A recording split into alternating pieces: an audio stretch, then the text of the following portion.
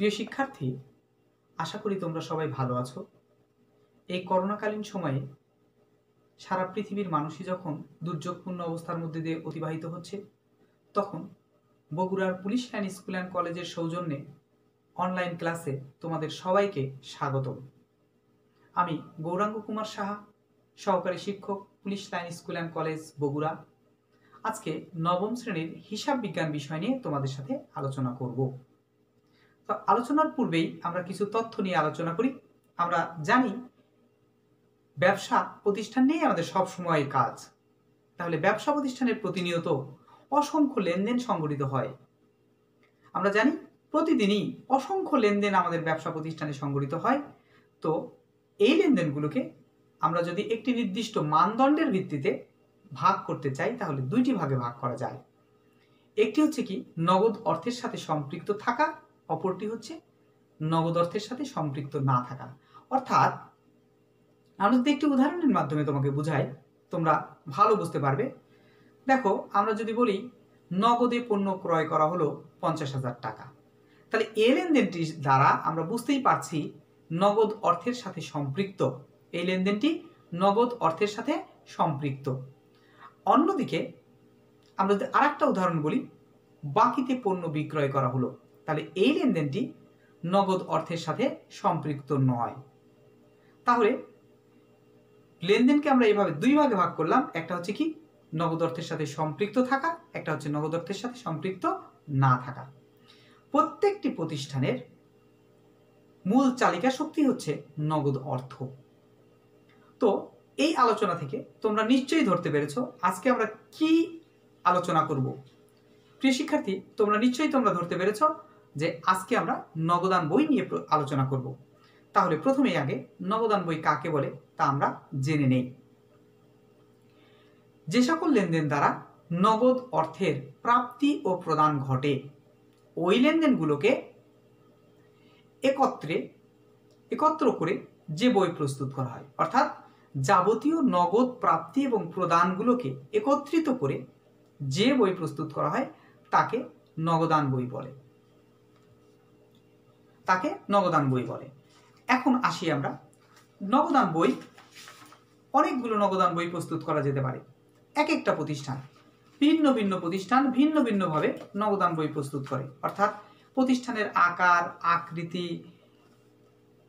মূলধন কাঠামো এইগুলোর উপর নির্ভর করে তাদের নগদান বই তারা প্রস্তুত করে থাকে। তাহলে বহুদিন ধরে প্রচলিত কয়েকটি নগদান বই প্রস্তুত করা হয়। প্রতিষ্ঠান, বিভিন্ন প্রতিষ্ঠান কয়েক ধরনের নগদান বই প্রস্তুত করে। তার মধ্যে কি চার ধরনের নগদান বই এখনও প্রচলিত রয়েছে? সেগুলো কি কি? এক ঘর নগদান বই, দুই ঘর নগদান বই, তিন ঘর নগদান বই এবং খুচরা নগদান বই।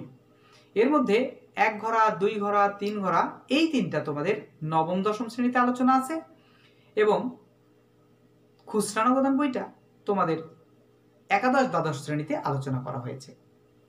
তো এই লেনদেন, এই নগদান বইগুলো ছাড়াও কোনো কোনো প্রতিষ্ঠান আরও দুই ধরনের নগদ প্রাপ্তি জাবেদা অথবা নগদ প্রদান জাবেদা। এই দুইটার মাধ্যমেও নগদান নগদ টাকার হিসাব সংরক্ষণ করে থাকে। তো প্রত্যেকটি নগদান বই যখন আমরা প্রস্তুত করব, প্রত্যেক ক্ষেত্রেই কিছু সূত্র, কিছু নিয়ম, কিছু শখ অনুসরণ করেই এই নগদান বইগুলো প্রস্তুত করা হয়। তাহলে প্রথমেই আমরা এক ঘর নগদান বই নিয়ে আসি।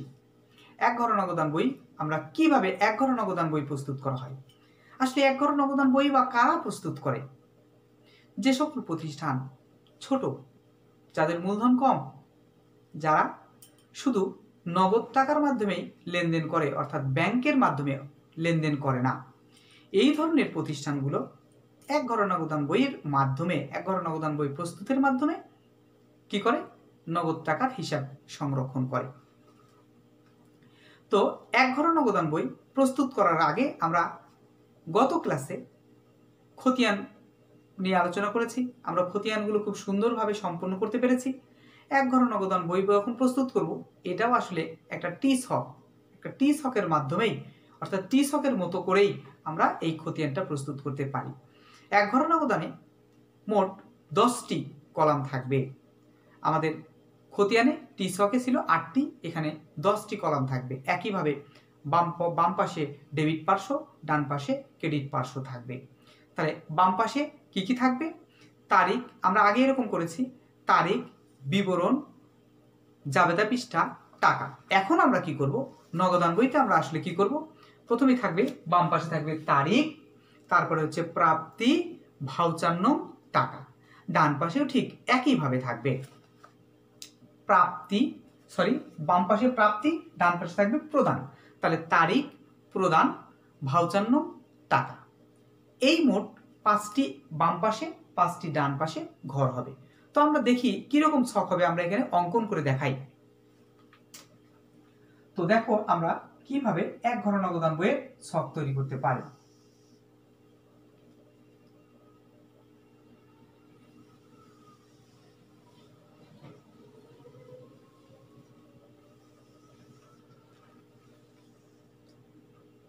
এখানে যদি টাকার ঘর রাখি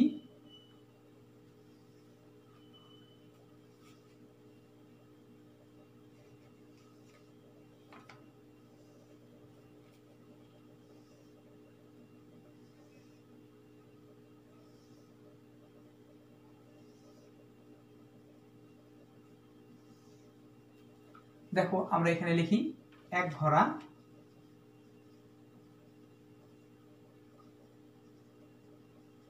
নগদান বই। বাম পাশে কি থাকবে?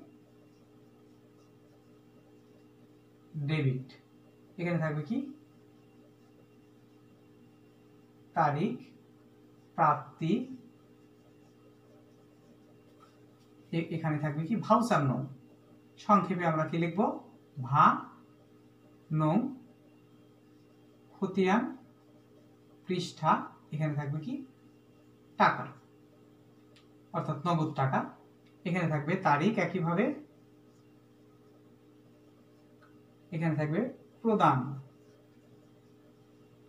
এখানে ভাউচার নম অর্থাৎ ভা নম খতিয়ান, পৃষ্ঠা, টাকা, এখানে থাকবে ক্রেডিট তাহলে আমরা এক বাম পাশে আমরা ডেবিট পার্শ্ব ডান পাশে ক্রেডিট পার্শ্ব প্রিয় শিক্ষার্থী, তোমরা খেয়াল রাখবে। প্রিয় শিক্ষার্থী, তোমরা লক্ষ্য রাখবে যে প্রাপ্তির বাম পাশে প্রাপ্তি টাকা, অর্থাৎ নগদ টাকা বৃদ্ধি পালেই ডেবিট পাশে, নগদ টাকা হ্রাস পাইলে অর্থাৎ চলে গেলেই ক্রেডিট পাশে। ডেবিট পাশে টাকা বৃদ্ধি পাইলে ডেবিট পাশে, টাকা হ্রাস পাইলেই ক্রেডিট পাশে হবে। তো এটাই আমাদের আসলে এক ঘর নগদান বই। শেষে আমরা টি শকের মতোই ব্যালেন্স সিডিবিডি করব। এভাবেই আমরা এক ঘর নগদান বই প্রস্তুত করব। যদি আমরা একটা উদাহরণের মাধ্যমে আমরা বলি যে নগদে পণ্য ক্রয় বিক্রয় করা হলো দশ হাজার টাকা, তাহলে আমরা যদি ধরো দুই হাজার উনিশ জানুয়ারি এক, তাহলে এখানে কি লিখব? নগদের পরিবর্তে আমরা কি লিখব? নগদান হিসাব ডেবিট আর বিক্রয় হিসাব ক্রেডিট তাহলে এখানে বিক্রয় লিখব।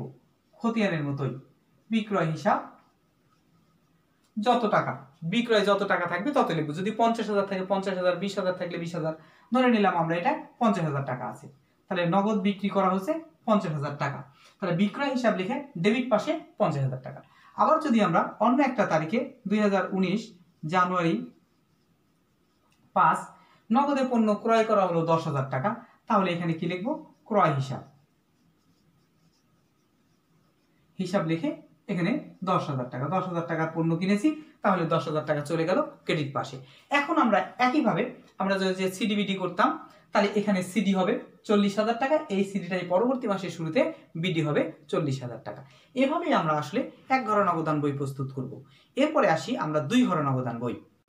প্রিয় শিক্ষার্থী, দেখো আমরা দুই ঘর নগদান বইয়ের কীভাবে প্রস্তুত করতে হয়, তার ছকটা আমরা তৈরি করে নিয়েছি। আমরা তোমাদেরকে সুন্দর করে বুঝাবো কীভাবে এই ছকটা তৈরি করতে হয়। আমরা জানি টি ছকের মতোই। তো এখানে আসলে এক ঘর নগদানের বইয়ের চেয়ে দুইটা ঘর দুই পাশে একটা করে ঘর বৃদ্ধি পাবে। শুধুমাত্র এখানে ব্যাংক টাকা, এখানেও ব্যাংক টাকা। আর সবগুলো ঘর একই আছে। তারিখ, প্রাপ্তি, ভাউচার, নম, খতিয়ান, পৃষ্ঠা, নগদ টাকা, এখানে নতুন করে ব্যাংক টাকা, এখানেও নতুন করে ব্যাংক টাকা। এই দুইটা কলাম বেশি হয়েছে মানে বারোটা কলাম লাগবে এখানে। তো আসলে দুই ঘর নগদান বই কারা প্রস্তুত করে? এক ঘর নগদান বইয়ের ক্ষেত্রে বলেছিলাম যে, যেমন, যে যারা শুধুমাত্র নগদে লেনদেন করে, ব্যাংকের মাধ্যমে লেনদেন করে না, তারা এক ঘোড়া নগদান বই প্রস্তুত করে। তাহলে দুই ঘোড়া কারা করবে? যারা নগদ টাকার পাশাপাশি ব্যাংকের মাধ্যমে, অর্থাৎ চেকের মাধ্যমে বা ব্যাংকের মাধ্যমে লেনদেন সঙ্গ সম্পাদন করবে, তারাই দুই ঘোড়া নগদান বই প্রস্তুত করে থাকে। একইভাবে আমরা এখানে দুইটা পার্শ্ব আছে, একটা ডেবিট পার্শ্ব, একটা ক্রেডিট পার্শ্ব। যদি নগদ টাকা বৃদ্ধি পায়, তাহলে ডেবিট পাশে নগদের ঘরে। যদি ব্যাংকের টাকা বৃদ্ধি পায়, তাহলে ডেবিট পাশে ব্যাংকের ঘরে। অর্থাৎ বৃদ্ধি পাইলেই ডেবিট পাশে, আর হ্রাস পাইলেই ক্রেডিট পাশে। প্রিয় শিক্ষার্থী, আমরা আগের মতোই বলেছি, তাহলে এখন দেখো, আমরা যদি নগদ টাকা বৃদ্ধি পায়, তাহলে ডেবিট পাশে নগদের ঘরে বসবে। যদি ব্যাংকের টাকা বৃদ্ধি পায়, তাহলে ডেবিট পাশে ব্যাংকের ঘরে বসবে। একইভাবে যদি হ্রাস পায়, নগদ টাকা হ্রাস পাইলে নগদের ঘরে ক্রেডিট পাশে, আর যদি ব্যাংক থেকে টাকা হ্রাস পায়, তাহলে ব্যাংকের ঘরে ক্রেডিট পাশে। এভাবে আমরা এখানে লিপিবদ্ধ করব। আমরা যখন অঙ্ক করব, তখন আমরা আরও সুন্দর করে বুঝব। তবে এই দুই ঘর নগদান বইয়ের ক্ষেত্রে আমাদের একটা তথ্য অত্যন্ত গুরুত্ব দিয়ে জানা দরকার। সেটা হচ্ছে কি? কন্টা এন্ট্রি তাহলে কন্টা এন্ট্রির জিনিসটা কি? এটা আমাদের জানা দরকার। কন্টা এন্ট্রি কাকে বলে?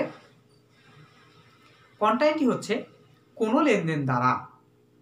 কোনো লেনদেন দ্বারা একই সাথে যদি নগদ টাকা এবং ব্যাংক, অর্থাৎ নগদ, নগদান হিসাব এবং ব্যাংক হিসাব দুটাকেই প্রভাবিত করে। তাহলে তাকে আমরা কি বলি? কন্টা এন্ট্রি তাহলে আবার বলছি, যদি কোনো লেনদেন দ্বারা একই সাথে নগদ এবং ব্যাংক উভয় হিসাবকেই প্রভাবিত করে, তাকে কন্টা এন্ট্রি বলে। তো এই ক্ষেত্রে দুই পাশে কন্টা এন্ট্রি আসলে নগদ টাকা এবং ব্যাংক যেহেতু দুটোই আমাদের কি সম্পদ হিসাব। তাহলে দুটাকেই যদি প্রভাবিত করে, তাহলে একটা বাড়লে আর একটা কমবে। তাহলে এই ক্ষেত্রে আমাদের দুই পাশেই বসবে। যদি আমাদের নগদ টাকার বিনিময়ে ধরো ব্যাংকে জমা দেওয়া হলো, এ ধরনের লেনদেন কি কি হতে পারে? যে একই লেনদেন দ্বারা ব্যাংককে প্রভাবিত করে, আবার নগদ টাকাকেও প্রভাবিত করে। এরকম লেনদেন আমরা দুইটা বলতে পারি। একটা হচ্ছে কি ব্যাংকে জমা দেওয়া হলো বা ব্যাংক থেকে উত্তোলন করা হলো। যদি আমরা নগদ টাকা ব্যাংকে জমা দিই, তাহলে আমরা কি হবে? ব্যাংক হিসাব ডেবিট, নগদান হিসাব ক্রেডিট। তাহলে লক্ষ্য করো, ব্যাংক হিসাব ডেবিট মানে ব্যাংকের টাকা বৃদ্ধি পেয়েছে। তাহলে আমরা নিশ্চয়ই ডেবিট পাশে ব্যাংকের ঘরে লিখব। তাহলে যখনই ব্যাংকের ঘরে টাকা লিখব, তখন এখানে লিখব কি? নগদান হিসাব। তাহলে নগদান হিসাব লিখে ব্যাংকের ঘরে টাকা লিখব। আবার অপরপক্ষে যাব, খেয়াল করো নগদ টাকা আমার হ্রাস পেয়েছে, তাহলে অবশ্যই ক্রেডিট পাশে নগদের ঘরে টাকা লিখব। যেহেতু আমরা নগদের ঘরে টাকা লিখছি, তাহলে এখানে কি লিখব? তখন আমরা ব্যাংক হিসাব লিখব। আর কন্ট্রা এন্ট্রি বোঝানোর জন্য আমরা পাশে ক অথবা সি ব্র্যাকেটের মধ্যে লিখতে পারি। তাহলে নিশ্চয়ই তোমরা কন্ট্রা এন্ট্রি সম্পর্কে কিছুটা ধারণা অর্জন করতে পেরেছ। আমরা পরবর্তী সময়ে অঙ্ক করার সময় আমরা আরও সুন্দর করে তোমাদের কাছে এই তথ্যটা উপস্থাপন করব। তো আসো, আমরা কীভাবে তিন ঘর নগদান বই প্রস্তুত করা করা যায় তা দেখি। প্রিয় শিক্ষার্থী, দেখো আমরা তিন ঘর নগদান বইয়ের সবটা তৈরি করে ফেলেছি। দেখো, দুই ঘর নগদান আর তিন ঘর নগদানের মধ্যে কি পার্থক্য? শুধুমাত্র একটা বাট্টার ঘর। এখানে বাম পাশে প্রদত্ত বাট্টা, ডান পাশে প্রাপ্ত বাট্টা। আসলে আমরা কখন তিন ঘর নগদান বই প্রস্তুত করব, এটা আমরা কীভাবে বুঝব? যখনই দেখব যে লেনদেনগুলোর সাথে কি আছে নগদ টাকা তো আছেই, সে ব্যাংকের মাধ্যমে লেনদেন করে, তাহলে আমরা দুই ঘর নগদান বই প্রস্তুত করি। একই সাথে যদি পূর্ণ নিষ্পত্তিতে কোনো লেনদেন সম্পন্ন করা হয়, তাহলে সেক্ষেত্রে বার্তার বিষয়টা আসে প্রাপ্ত বার্তা এবং প্রদত্ত বার্তা যদি আমরা টাকা আদায় করার সময় কোনো বার্তা প্রদান করি, তাহলে সেটাকে আমরা বলব প্রদত্ত বার্তা যদি কোনো টাকা প্রদান করার সময় বার্তা পাই, তাহলে সেটাকে বলব আমরা প্রাপ্ত বার্তা। বাকিতে পণ্য ক্রয় বিক্রয়ের পর দেনাদার বা পাওনাদারের কাছ থেকে টাকা দ্রুত আদায় করার জন্য কি করতে হয়? বার্তা প্রদান করা হয়। তাহলে বার্তা প্রদান করা হলে সেটা হচ্ছে ব্যয় আর পাওয়া গেলে সেটা হচ্ছে আয়। তো এইভাবেই আমরা তিন নগদান বই প্রস্তুত করব। প্রিয় শিক্ষার্থী দেখো, আমরা তাহলে আগের মতোই দুই ঘর নগদান বই আর তিন ঘর অবদান বই একইভাবে প্রস্তুত করব। শুধুমাত্র এখানে বারটার ঘরটা বেশি আসবে। এখানে প্রাপ্ত বার্তা প্রদত্ত বার্তা এই পাশে প্রাপ্ত বার্তা আমরা এই দুইটা জিনিস এখানে শুধু অতিরিক্ত লিপিবদ্ধ করব, তাহলে আমরা এই তিন ঘর অবদান বইটা প্রস্তুত করতে পারব। তো আমরা অঙ্ক করার সময় আরও সুন্দর করে এটা বুঝতে পারব। এবার আমরা আসি এর পরবর্তী ধাপে। নগদ প্রাপ্তি জাবেদা এবং নগদ প্রদান জাবেদা আসলে একটি নির্দিষ্ট সময়ের মোট নগদ আন্তঃপ্রবাহকে নগদ প্রাপ্তি অথবা এর নগদের সমতুল লেনদেনগুলোর জন্য একটা ছক বা বিবরণী প্রস্তুত করা হয়। এই বিবরণীকেই আমরা কি বলি? নগদ প্রাপ্তি জাবেদা। অনুরূপভাবে নগদ প্রদানের জন্য, অর্থাৎ একটি নির্দিষ্ট সময়ে নগদ প্রদানের জন্য নগদ প্রদান এর জন্য মানে নগদ প্রদান এর পরিমাণ জানার জন্য যে ছকের মাধ্যমে এই নগদ, মোট নগদ প্রদানের পরিমাণ নির্ণয় করা হয়, তাকে আমরা বলব নগদ প্রদান জাবেদা। তো এবার আসো, আমরা কীভাবে নগদ প্রাপ্তি জাবেদা এবং নগদ প্রদান জাবেদা প্রস্তুত করতে হয়, তার ছক নিয়ে আলোচনা করি। প্রিয় শিক্ষার্থী, দেখো আমরা এখানে নগদ প্রাপ্তি জাবেদার ছকটা তৈরি করে নিয়েছি। নগদ প্রাপ্তি জাবেদা এবং প্রদান জাবেদায় ডান পাশে আমরা উভয় ক্ষেত্রে পাঁচটি টাকার ঘর অঙ্কন করব। পাশে সূত্র, এখানে একটা ঘর, তারপরে তারিখ। এখন এখানে আমরা ঘরগুলো কীভাবে হবে, কোনটার নাম কি হবে সেটা দেখাচ্ছি। নগদ প্রাপ্তি যাবে জাবেদা, প্রথমেই তো তারিখ হবে। নগদ প্রাপ্তি জাবেদার ক্ষেত্রে নগদ টাকা আমাদের কি? ডেবিট, অর্থাৎ নগদান হিসাব, ডেবিট। তাহলে নগদের বিপরীতে কি হিসাব খাত? ক্রেডিট হিসাব খাত। এই জন্য নগদ ডেবিট, অতএব আমরা কি খুঁজবো? ক্রেডিট হিসাব খাত। তারপরে সূত্র। এবার আসি আমরা জাবেদা। কি জাবেদা? যদি নগদ টাকা পাওয়া যায়, তাহলে নগদান হিসাব ডেবিট। আমরা বলেছি, টাকা পাওয়ার সময় কি করা হয়? বারটা প্রদান করা হয়। তাহলে যখনই নগদ টাকা ডেবিট হবে, তখন বারটাও ডেবিট হবে। অর্থাৎ নগদ যদি ডেবিট হয়, বারটাও ডেবিট। নগদ যদি ক্রেডিট হয়, বারটাও ক্রেডিট। তো এখানে দেখো, নগদ যেহেতু ডেবিট, এই জন্য বারটাও ডেবিট। আর ক্রেডিটকে আমরা তিনটা অংশে এখানে ভাগ করেছি। অর্থাৎ কি? আমরা প্রতিদিনই টাকা পাবো। কার কাছ থেকে টাকা পাবো? আমাদের ব্যবসা প্রতিষ্ঠানের প্রত্যেক নিয়ত, প্রতিনিয়ত পণ্য বিক্রয় করব, বিক্রয় করলে টাকা পাবো। আবার কি? প্রতিদিনই আমরা দেনাদারের কাছ থেকে টাকা পাবো। অর্থাৎ এই বিক্রয় এবং দেনাদার, এই দুইটা হচ্ছে নিয়মিত কারণে আমরা টাকা পাবো। আর অন্য যে কোনো কারণে টাকার যদি প্রাপ্তি ঘটে, তাহলে সেগুলোকে আমরা অন্যান্য কারণ হিসেবে চিহ্নিত করব। এই জন্য আমরা বিক্রয় হিসাব, দেনাদার হিসাবকে নির্দিষ্ট করে লিখেছি যে এইগুলো আমরা আসলে বেশি বেশি পাবো।